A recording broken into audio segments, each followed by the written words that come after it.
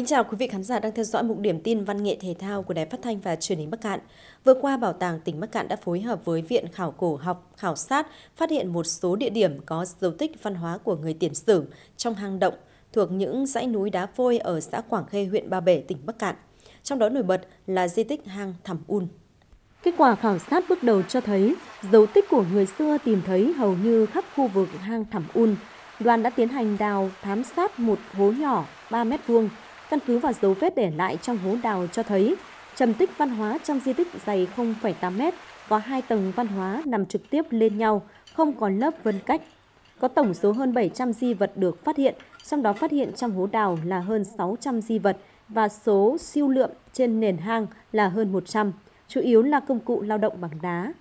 Dựa vào nghiên cứu tổng thể các di vật vào kết cấu và tuổi trầm tích địa tầng văn hóa, bước đầu các nhà nghiên cứu cho rằng hang Thẳm Un là một di tích cư trú của nhiều thế hệ người tiền sử.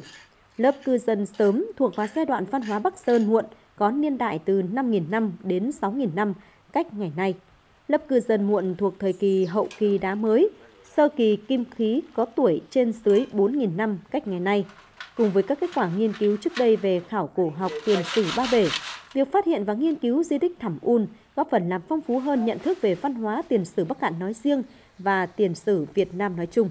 Ngày 29 tháng 5, những người yêu hát then huyện Trợ Đồn đã tổ chức đại hội thành lập câu lạc bộ hát then tiếng tính quê hương.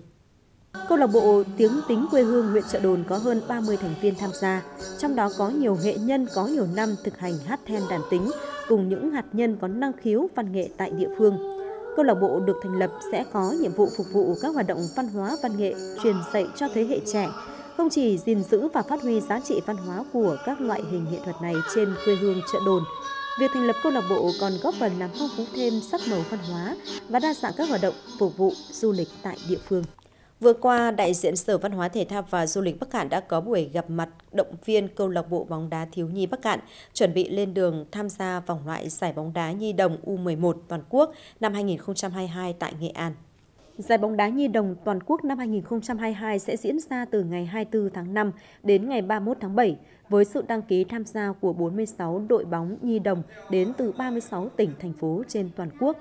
Vòng loại của giải được chia thành 3 khu vực thi đấu trên cả nước từ ngày 30 tháng 5 đến ngày 31 tháng 7, gồm bảng Nghệ An tổ chức từ ngày 30 tháng 5 đến ngày 7 tháng 6, bảng Đắk Lắk diễn ra từ ngày 31 tháng 5 đến ngày 10 tháng 6, bảng Kiên Giang tổ chức từ ngày 2 tháng 6 đến ngày 12 tháng 6. Đặc biệt, vòng chung kết giải toàn quốc năm 2022 sẽ được tổ chức tại thành phố Nha Trang, Khánh Hòa từ ngày 21 đến ngày 31 tháng 7 với sự góp mặt của 16 đội bóng xuất sắc nhất. Đây là cơ hội để các em thiếu nhi yêu bóng đá của Bắc Cạn được cọ sát, giao lưu với các đội bóng mạnh trên cả nước, từ đó có cơ hội được phát hiện và bồi dưỡng trở thành những cầu thủ chuyên nghiệp trong tương lai thực hiện chương trình phối hợp tổ chức các hoạt động văn hóa, văn nghệ, thể dục thể thao cho cán bộ chiến sĩ và phạm nhân đang trong thời gian chấp hành án tại trại tạm giam Công an tỉnh Bắc Cạn.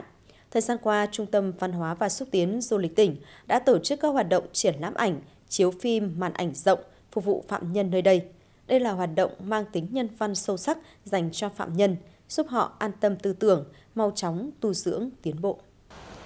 Nếu như trước kia, khi còn sống ngoài xã hội, anh Nguyễn Đức Việt thường ít quan tâm đến các buổi chiếu phim lưu động tại địa phương. Thì nay, trong hoàn cảnh đặc biệt như thế này, anh và các phạm nhân của trại tạm giam công an tỉnh lại cảm thấy những bộ phim được xem thật hay và ý nghĩa. Những thước phim cảm động về những câu chuyện hoàn lương đã giúp anh Việt và nhiều phạm nhân ở đây có thêm động lực để cải tạo tốt. Và qua cái buổi triển lãm ảnh và chiếu phim của Trung tâm Văn hóa, Thể thao và Du lịch tôi đã biết thêm về các tình hình chính trị, kinh tế, xã hội trong tỉnh. Và qua cái bộ phim ngày hôm nay thì tôi cảm thấy rất là xúc động. Ừ, muốn là cải tạo thật tốt để ờ, sớm trở về với hòa nhập cộng đồng. Bên cạnh hoạt động chiếu phim, các phạm nhân còn được tham quan triển lãm ảnh về những hoạt động và thành tiệu trong các lĩnh vực chính trị, kinh tế, xã hội và văn hóa của tỉnh.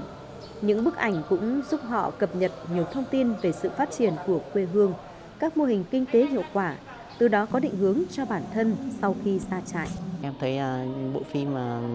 anh chị mang xuống đây triệu rất phù hợp với uh, anh em và em nghĩ là qua xem bộ phim này xong thì anh em cũng sẽ nhận thức được nhiều cái và biết được nhiều cái hơn. À, thông qua các cuộc triển lãm cũng như thông qua cái hoạt động chiếu phim này, thì cũng mong muốn là làm sao là là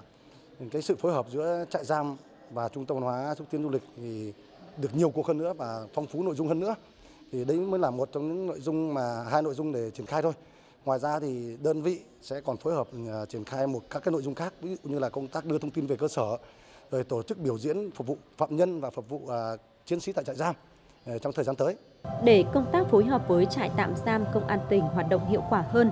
Trung tâm Văn hóa và Xúc tiến Du lịch sẽ thường xuyên thay đổi hình thức, tổ chức các hoạt động đa dạng, phong phú hơn để thu hút phạm nhân, nhất là thay đổi hình thức chiếu phim cho phù hợp thực tế. Nội dung các bộ phim phải nhằm nâng cao hiểu biết, cải thiện đời sống tinh thần cho phạm nhân, tạo môi trường tốt, giúp phạm nhân lạc quan tu dưỡng, cải tạo tốt để sớm trở về với gia đình, thành người có ích cho xã hội. Thưa quý vị khán giả, đối với mỗi họa sĩ, dấu ấn của họ là tạo ra các tác phẩm đặc sắc mang tính cá nhân đậm nét. Để làm được điều đó, mỗi người đều phải trải qua một hành trình dài đam mê, sáng tạo và thể nghiệm để tìm ra lối đi riêng cho mình. Với họa sĩ Trần Ngọc Kiên, hội viên tri hội mỹ thuật Việt Nam, tỉnh Bắc Cạn, hội họa đối với anh là con đường đi chậm và chắc.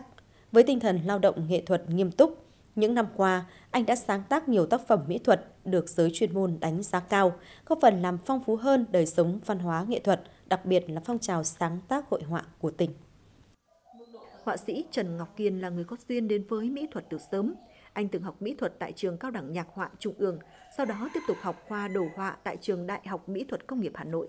Là người đến với con đường hội họa một cách bài bản và nghiêm túc. Họa sĩ Trần Ngọc Kiên không sáng tác ồ ạt, cũng không vội chạy theo các trào lưu sáng tác dễ dãi về nội dung và nghệ thuật mà chú trọng vào chất lượng tác phẩm. Sinh sống ở địa phương còn giữ được nhiều nét văn hóa đặc sắc của các dân tộc. Họa sĩ Trần Ngọc Cường đã khai thác rất hiệu quả chất liệu văn hóa vùng cao trong các tác phẩm của mình. Các tác phẩm của anh thường hướng đến thiên nhiên và con người miền núi, chứa đựng nhiều nội dung, thông tin với những chi tiết mang tính biểu tượng, thể hiện am hiểu sâu sắc của tác giả về văn hóa miền núi. Tôi đã thôi thúc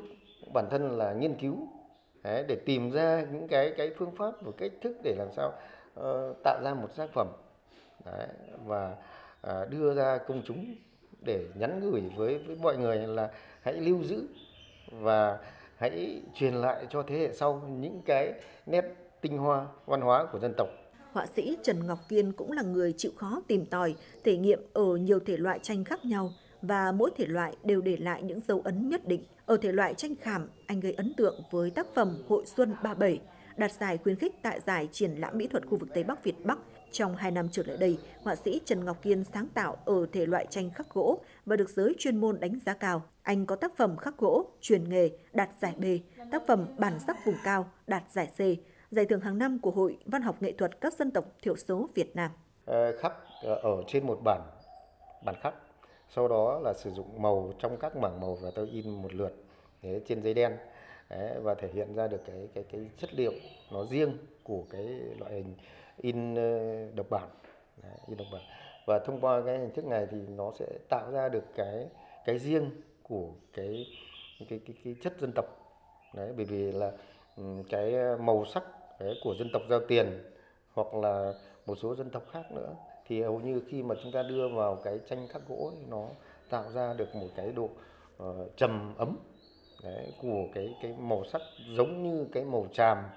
trên sắc áo của cái người dân tộc ấy. Không chỉ sáng tạo tranh nghệ thuật, họa sĩ Trần Ngọc Kiên cũng tích cực tham gia sáng tác tranh cổ động với những vấn đề mang tính thời sự như cổ vũ phòng chống dịch COVID-19. Anh đã sáng tạo nhiều tác phẩm in trên tạp chí Văn nghệ Ba Bể về đề tài này với những hình ảnh sinh động, trực quan và gần gũi với bà con nhân dân. Bộ tranh của anh cũng đã góp phần làm đa dạng hơn các hình thức thông tin, cổ động đến các lứa tuổi khác nhau, thể hiện ý thức trách nhiệm của người nghệ sĩ trong công tác chung tay phòng chống dịch bệnh. Tôi là tri hội trưởng của tri hội mỹ thuật thì cũng luôn luôn động viên tất cả anh em họa sĩ là tham gia vào cái hoạt động sáng tác. Mỗi người có một cái cái Đấy, sở trường hay là có một cái tư duy về nội dung hình tượng à, khác nhau với cái tiếng nói và cái cách thể hiện khác nhau trong tác phẩm đem lại những cái cái niềm vui hay là có những cái gì đó về về về cuộc sống đấy, về uh, sinh hoạt của uh, các đồng bào dân tộc uh, tỉnh Bắc Cạn. Rất nhiều năm gắn bó với nghệ thuật hội họa, họa sĩ Trần Ngọc Kiên vẫn luôn chậm rãi và chắc chắn với những tác phẩm mỹ thuật có chất lượng. Anh luôn được bạn bè giới chuyên môn đánh giá cao bởi tinh thần lao động nghệ thuật nghiêm túc, tâm huyết, đam mê với mỹ thuật. Họa sĩ Trần Ngọc Kiên cho biết sẽ còn giới thiệu đến công chúng yêu hội họa nhiều tác phẩm của mình bằng một triển lãm cá nhân trong thời gian tới. Và những hình ảnh vừa rồi cũng đã khép lại chương trình của chúng tôi ngày hôm nay. Cảm ơn quý vị đã quan tâm theo dõi. Xin kính chào và hẹn gặp lại.